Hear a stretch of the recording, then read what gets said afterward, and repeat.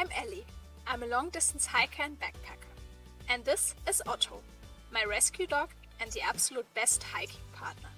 Come join us as we explore the great outdoors, one trail at a time.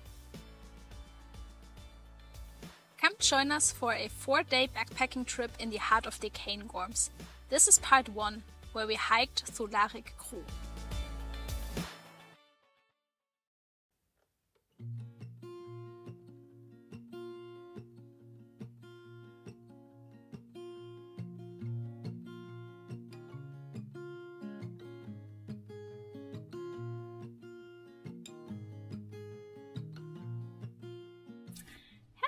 And welcome to this video.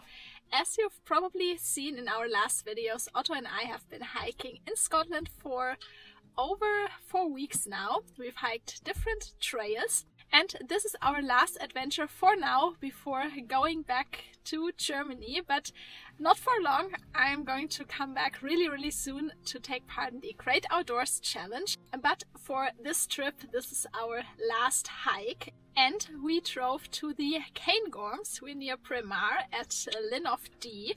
And I've planned a little four day loop through the Cairngorms. Um, it's probably going to be around 50 miles, 80 kilometers, something like that. I'm really excited. I've never hiked in the Cairngorms before, but we're doing a very famous hike. We stay in a bothy, one of the most famous bothies, and yeah, if the weather is nice and if there's not too much snow, we'll also try to climb Ben Macdui uh, in a couple of days. Really, really excited, so let's go!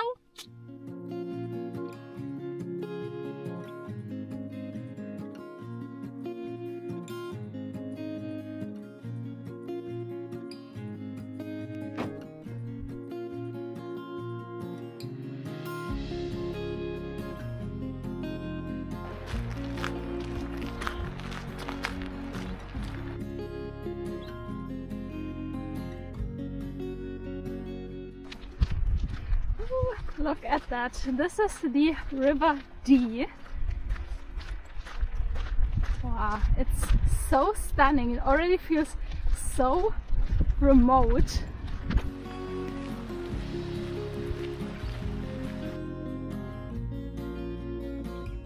We set off from Linn of Dee about half an hour ago and I think I haven't even told you my plans for the next couple of days yet. It's a hike that has been on my bucket list for so, so, so long. And I think it's probably one of the most famous hill walking hikes in Scotland. And that's the walk through Lairig Ghru which is a yeah basically a glen. And then it goes over a pass which is basically the meaning of Lairig if I'm pronouncing that correctly. And it yeah it connects Braemar and Linn of Dee which is a bit further into the glen with Aviemore so it basically goes through the heart of the Cairngorms a bit and you're walking past one of the highest mountains in Britain and past the big Cairngorm range. I'm really excited. The weather has been dry for a couple of days now, so it should be doable with the rivers not being in spate. I don't know about the snow level yet. Obviously, if there's a lot of snow, we'll turn back. But there probably isn't, but the pass goes uh, quite on high terrain. So it, the top of the pass is at 800 meters. So there still could be snow, I think, probably. But I just don't know what the conditions will be like. But we'll have a look. It's a very remote stretch. It's uh, 20 miles uh, through the Glen, through Glen Dee and then over the pass towards Aviemore. So it's uh, not going to be one day for us, but two days. We have a short day today to actually spend the night at another very, very famous place, which is Bothy, which is one of the probably most famous ones, I think, um, bothies in Scotland. And yeah I've read so much about it and really excited to stay there just in the middle of nowhere in this famous bothy that has been there for over 100 years. And yeah just surrounded by mountains. That would be so so nice. Really excited. Also a bit anxious because it's a lot more like hill walking a lot more um, um, mountainous terrain than on our last hikes. Um, maybe apart from Glen Affric. But yeah, I'm really excited. I'm just going to try. We can always turn back and yeah, this will be so, so, so nice and the weather is perfect for it. It should stay mainly dry for the next couple of days with good visibility so I don't think we'll have any issues um, with like getting lost or yeah, not seeing the path. Yeah, let's go! If you're continuing along this way over the bridge you're actually getting into Glen Feshie which is another very uh, popular glen popular hike. But we're not doing that now. I'm doing that on my Great Outdoors challenge in May. But we're turning into Glen Dee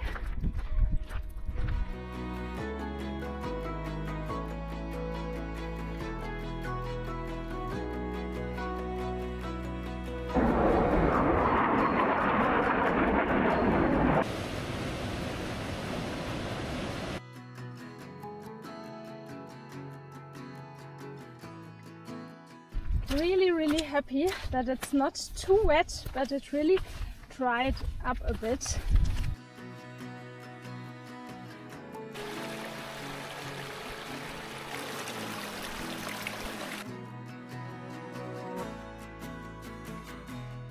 Wow look at that. This is stunning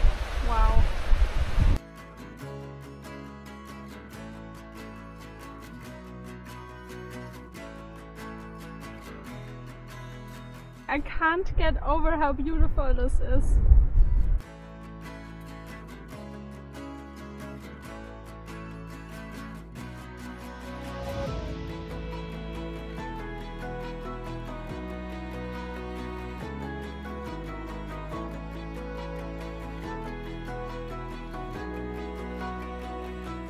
I'm very very happy that it's been dry so far but still the wind is so so so cold.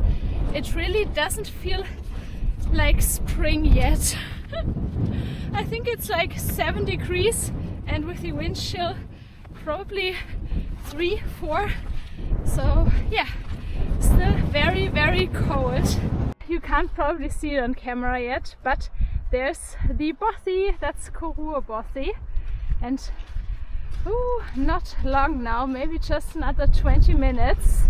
And I'm quite happy to get there. It wasn't too long today, but still, as you can see, the path is not always clear. There are a lot of like boulders and boggier sections. So yeah, it was a bit slow going and hard going. Can't wait to get in and set up. I hope it's not full yet. Hopefully not. And then yeah, just have a coffee and some snacks and yeah. oh, there it is, the bothy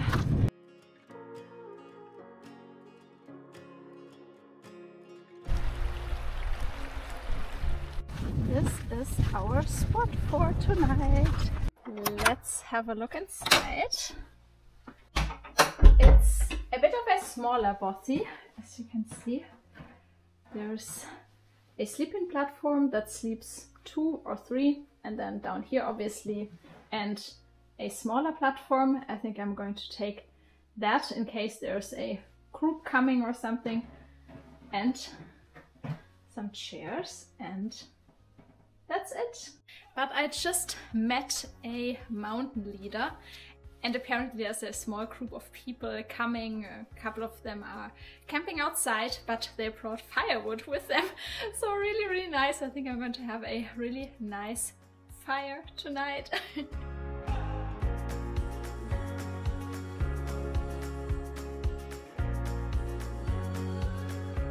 oh, this is going to be so, so, so nice.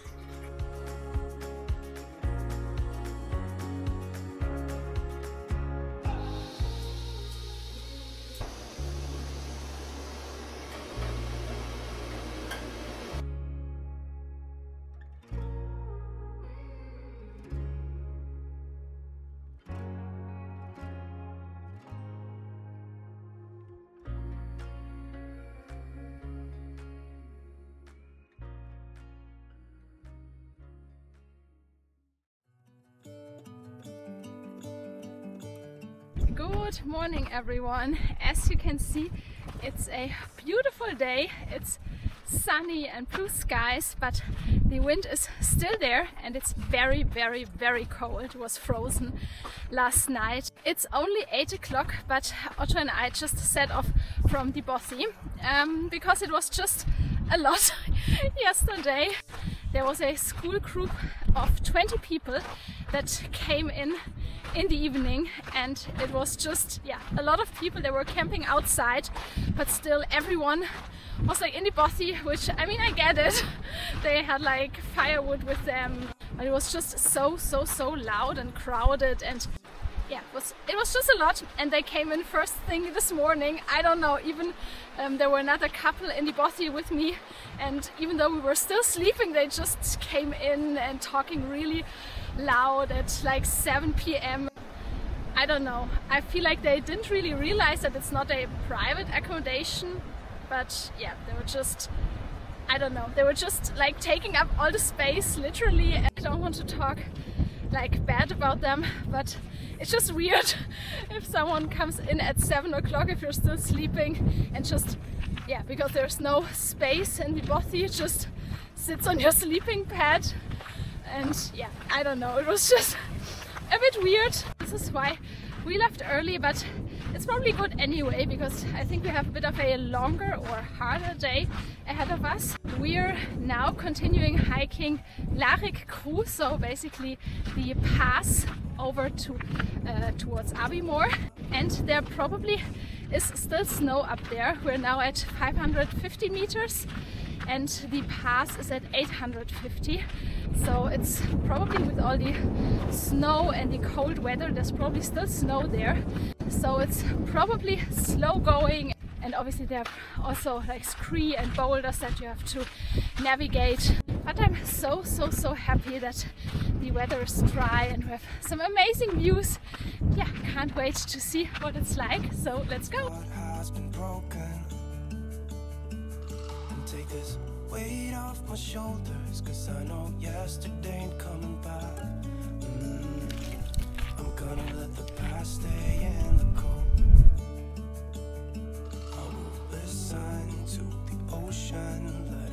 unsaid words be spoken And I'll let my mind be carried by the Ooh, This is such a nice hike It's incredible. It's not too challenging, it's not overcrowded. It's yeah, just just perfect. So many beautiful views. Wow. Amazing.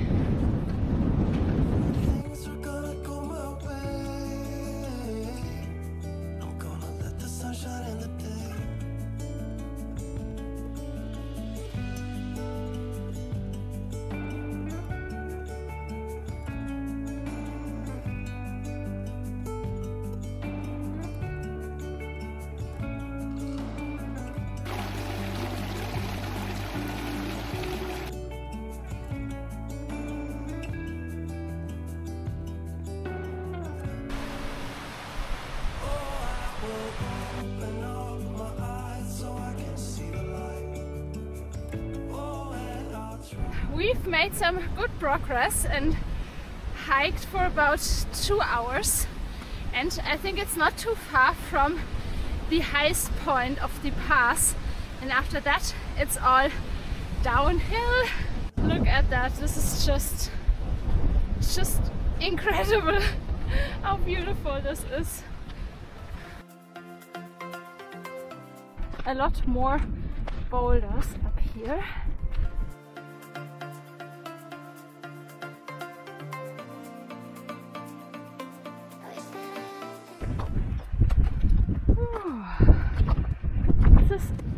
quite hard going now. These are the pools of Dee and I think this is basically the source of the river Dee.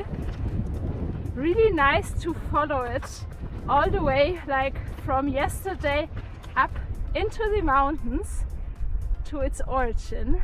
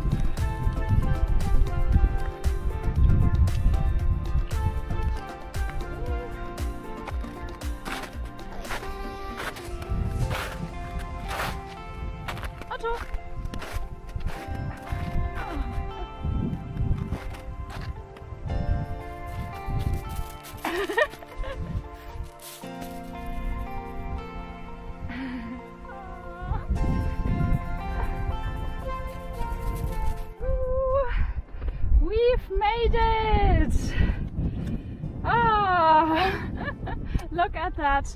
I can see Aviemore down there. This is the highest point of Lairig Ghru at 840 meters. And whew, I'm so, so, so proud that we've made it and in such beautiful weather and oh, so happy. It wasn't easy, like all the way, but still so, so, so beautiful. I'm so happy!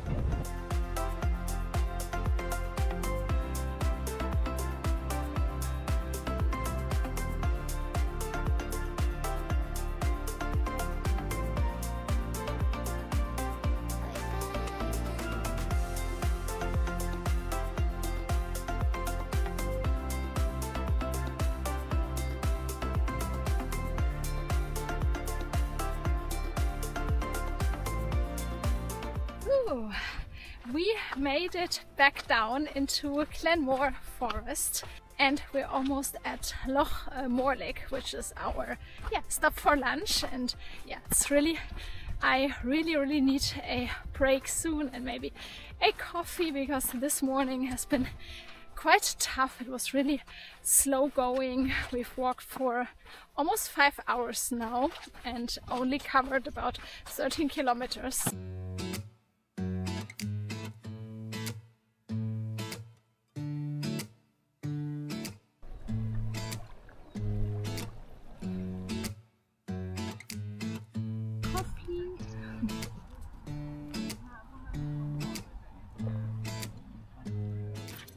just had a coffee break, aka really, really late lunch break. It's almost four o'clock now and I've decided not to hike on, but instead to find a spot to wild camp at the shore of Loch Morlich. Didn't see any sign that it's not uh, allowed to wild camp and yeah, this is going to be so, so nice just yeah, being at the loch, looking out to the water and having my own little tiny quiet space. I'm a bit tired and I think Otto's tired, so yeah, if I find something here, I yeah, we'll just set up the tent and give us both a little bit of rest. Look at this! This might be my favorite spot to wild camp in a really, really long time. It's so beautiful. I have my own little beach and the sun's going to set over there so maybe I'm lucky to catch a sunset. It's still very early so we have a lot of time for rest. I'm going to make another coffee and having some sweets and ah, this is so perfect. ah. we are ready for bed now. It's half eight. And yeah, we had a really, really nice day. I'm so happy that we got to see so many views and yeah, that I found this great little spot to wild camp. But it's been a very, very cold day. Um, it's only about one or two degrees, but with the wind chill yeah, it's really, really, really cold. Probably one of the coldest days, even with the sun. I'm going to go to sleep into my sleeping bag and with you tomorrow. Good night. This is horrible. I really can't believe that it's snowing so badly. The forecast was for like basically dry. this is really not the day I hope for. Just fording the river will not be easy. So yeah, I don't know.